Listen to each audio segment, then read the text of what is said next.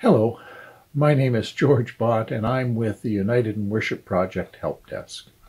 It's our intent to provide some examples and help to show you how to make more effective use of some of the resources that we are providing for worship. Many of you are using our resources from the United in Worship Project, and you may notice that we are using a standard letter-sized page, eight and a half inches by 11 inches. In your computer, usually calls that size letter size. That's the format that we're using for typing up the order of service, the bulletin. But I do know that many churches still use a bookfold bulletin. That's like taking this 8.5 by 11 sheet of paper putting it sideways, instead of up and down, put it sideways, that's landscape mode, and turning that into a bulletin. Let me show you a really easy way to make that happen and let the computer do all the work. Unfortunately, this works only with Microsoft Office on Windows-based computers. The Mac version of uh, Microsoft Office doesn't have this feature in it. Let's start by opening one of the bulletins from our resources folder. So I've got one here all ready to go, Bulletin for Worship Leader, and I'm going to open that document. You'll notice that if I scroll down this document, that it's created on, created on letter size sheets, that's 8.5 by 11, and it's in what's called portrait mode. And so there are a total of four pages of this document on letter-sized paper. Portrait mode just means that the narrow edge of the paper is toward the top and the bottom of the document. Its opposite would be landscape, where we turn the paper on its side so that the long edge is at the top and the bottom. That's landscape mode. So I've numbered the pages so that you can see how many sheets of letter size paper are used and how many pages will be there when we turn it into a bulletin. Now, so I just wanted to make sure that you understand what we're doing here. We're taking that original bulletin that I showed you, written on or typed on uh, letter size paper, 8.5 by 11 inches, and I printed it out so that you can see how it prints out in its letter size format. So there's the front page. You notice there's no number on that page. Here's page 1. Here's page 2. And Here's page three. All right, so we're going from that large document and we're going to turn it into a booklet, a book fold. Let's see what that looks like when it's printed out. Now let's go ahead and have the computer do just that, turn it into a multi-page booklet. So from the tabs across the top of the ribbon here, I'm going to select layout. And within that layout, I want to concentrate on this grouping, the page setup grouping, and note in the bottom right corner there's a very tiny icon that when you click on it opens the page setup dialog box. It's like a more button and gives us more features. Well, right now, everything I need to use is right in front of me. I want to change the margins for top, bottom, left, and right. Because it's a booklet, I want to make those margins a little narrower, so I'm going to change the top and the bottom to half an inch. And the left and right margins to a half inch. If you've got your Microsoft Office set up for metric, it would probably be 1.25 centimeters or 125 millimeters. Once the margins are adjusted, I want you to note right now that our pages are in portrait mode, and I'm going to come down to where it says pages, multiple pages, normal. That's the normal position, portrait and we're now going to click on this little arrow beside it and select Bookfold, the last item in that drop-down list. And note there's some changes have happened. First of all, the orientation changed from portrait to landscape. That means the, the page has been turned on its long edge now, so the long edge is at top and bottom. We're doing this for all of the sheets in the booklet, and the preview has shown us now that we have an 8.5 by 11 or letter size page turned on its side, and there are going to be uh, pages side by side on this, and it's going to apply to the whole document. All we need now to do is say OK and let the computer do its work. And sure enough, it has. Let me scroll down and let's just see. This is page 1, or actually it's page 0. There is no number on that page. And I go to the next page, and here we have page 1, 2, 3, 4, 5. So our booklet is actually going to have five pages of typing in it. And uh, we're going to um, print it out to see what it looks like. But before we do that, I would suggest that one of the things you might want to do, because it's now in booklet form, is let's set the font from 10 point. If I click on home up here, I can see right now at the top it's 14 point, so that's large letters. If I come down here and click, the font I'm using on the rest of the booklet is 12 point. So I'm going to change this to 10 point by putting my pointer in the left margin and drag downward.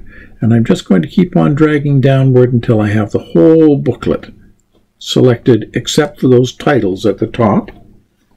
And now I'm going to come back up here on the Home tab and I'm going to select the font size and change it to 10 point. That just makes it a little bit smaller. And now when I scroll back up to the top, you notice that it's gone from five pages, it's now on four plus the front cover. And so when I print it out, I now have to click File. I'm going to come down the list to Print.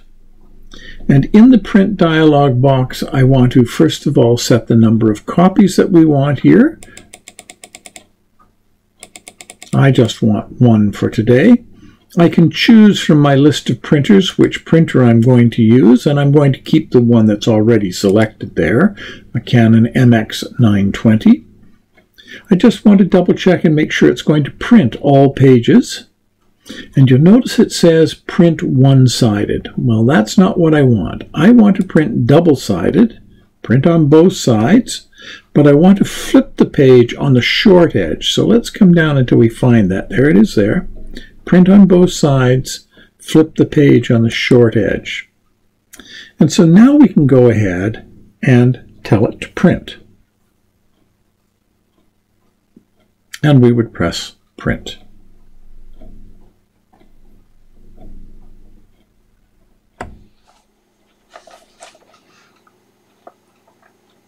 So here we are. We've printed out now having made the adjustments and turned that letter size paper into a booklet, here's what it looks like when it's printed out. So in our, as our document comes off the printer, here, whoops, wrong side here. Let's look at this side first. This is the cover, the outside front cover. This is the outside back cover. When I look at what's on the other side of that, all I find is a printout of page two. Actually, sorry, page one. I'm on the wrong side here. Here's page one, and on the other side, a blank. Don't worry about the fact that it's blank. The computer knows what it's doing better than we do. Here's page blank and page two. And then if I turn that over, pages three and four. So if we put this all back together the way it came off the printer, and I'm just going to fold it in half. Let's take a look as we go through this. Here's our front cover. Pages 1 and 2.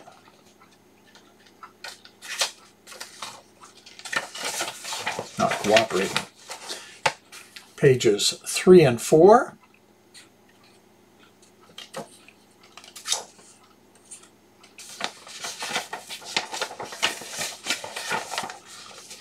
Pages 5 and 6. There was no text on those pages. And the back cover again. So now we've got a booklet for the worship leaders. But we can take that one more step because what we did next was we applied a few more enhancements to our, our bulletin, our, our booklet version of that bulletin. Let's see what that looks like when it printed out. All right, let's do just a little bit more with our uh, booklet that we've created for this or for this particular bulletin. Uh, there are a few th other things we can do to make it look more like our worship uh, bulletin. So let's open up where we left off. And I want to take this cover that we've got, this first page, and I want to move the stuff from local announcements on down to page one. That's and that way we're just going to have the title and the date on the cover. So I'm going to do that by putting my cursor at the beginning of local announcements. Do you see it flashing there? I'm going to hold down one of the control keys on my keyboard and just tap the enter key. That's forced everything from my cursor's position on to a new page. So it's now on page one.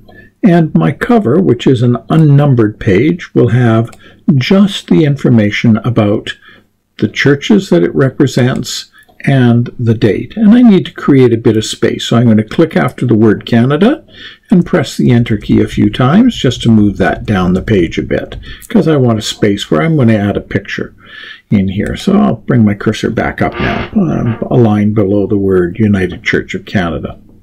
So here I want to insert a picture. So I'm going to click Insert tab and choose the icon Pictures, and it's going to select automatically from this PC, but I left a picture sitting on the desktop that I want to use, so I'm going to find the word desktop in this list. There it is. And sure enough, it's called conflict cover. That's the picture I want to use, and I'm going to check mark it and then say insert. I've got my picture on my cover.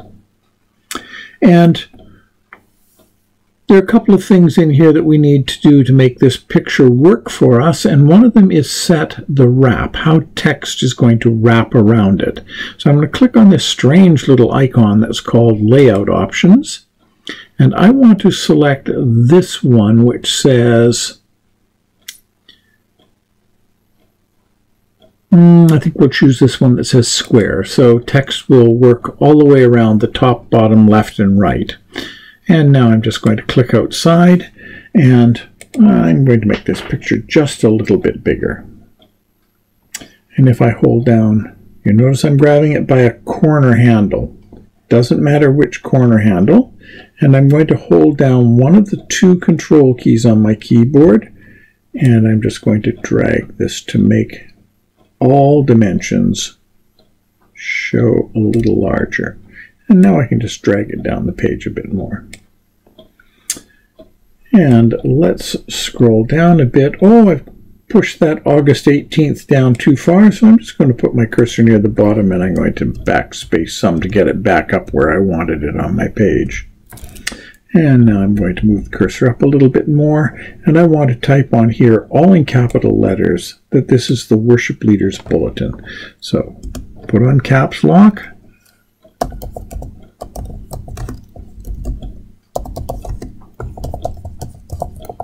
The worship leader's bulletin just has more information in it than the congregational bulletin does. It has all the extra things that are going to be happening during worship in there uh, for the worship leader as reminders about what has to go on to make the worship uh, flow. All right, so now we have, if we scroll down through our document, this is still our booklet version, remember? So now we have a nice cover with the name of the churches on it the uh, for whom the bulletin is for, the date, and now everything else is on the next four pages. All right. And now when we print it out, we're going to do exactly the same thing as before. Select File, come down the list to Print. We're going to set the number of copies, choose the printer we're going to use, make sure that it says Print on both sides, flip pages on short edge, and then click the Print button.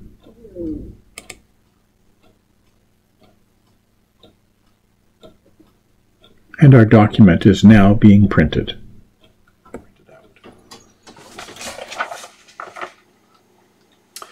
Oh, by the magic of computer technology, here we are and it's already printed out for us. So, once again, I, I can show you that I've got my front cover and it's got the text on it. The back cover is blank. There was no text there. If I look inside, I now have page one with some text on it. The other page is blank. When I look at page two, you'll notice that there is stuff on page two and on page five. Don't worry about it. The computer knows what it's doing. Trust it. Trust me. And here's pages three and four. They're right in the center of the document. That's why they both show up on that page. So let's put this back together the way it came off the printer. We're going to fold our booklet in half. And now when we look inside, let's see what comes up. Look at that. Pages 1 and 2 pages 3 and 4 in the very center.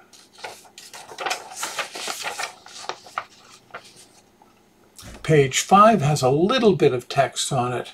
Page 6 is still blank, and so is the back cover.